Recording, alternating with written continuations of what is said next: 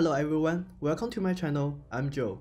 The Collection Manager allows a player to view their collection of cards.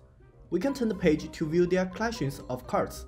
Also, Collection Manager allows you to specify and narrow down what you are looking for by pressing search buttons. Making a Collection Manager in Unity might seem a pretty big challenge. To keep things simple, I have split the videos up into 5 episodes includes one additional video.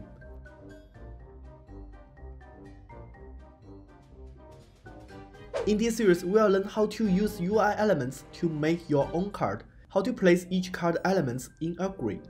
On C Sharp script, we are going to use scriptable object to edit each card information and integrate with UI. Then, we will complete the search buttons and turn the page. Finally, we will make code refactoring and clean your code. Each episode project can be downloaded for free. By the way, I have prepared the text version and the whole process if you don't like my accent. Also, in case you get stuck, we have made the source code available on GitHub. There will be the link for both in the description.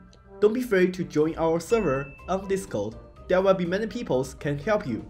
Alright, I will see you in the next video. Thanks for watching.